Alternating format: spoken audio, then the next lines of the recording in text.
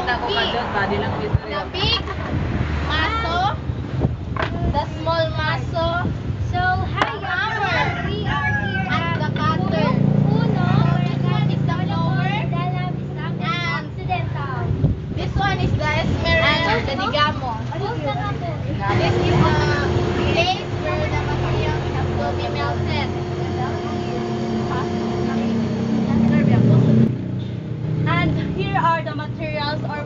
pattern or, of making a sword So or a making bow. a sword is more than what you ever see in the movies. For many people, being a blacksmith is a fantasy where you pound steel against evil.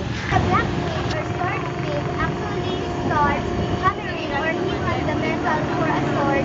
There is a lot of work to be done. step on making a knife is forging a bar of desired metals or combination metals uh, heated in